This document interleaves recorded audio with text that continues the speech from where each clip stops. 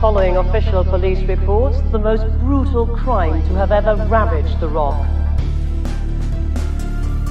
Nevertheless, the police is looking into the unresolved cases of a number of missing homeless people over the last year, thinking this could be connected. You. Some alone, others with friends, hungry for blood, over the violence. You fucking animals!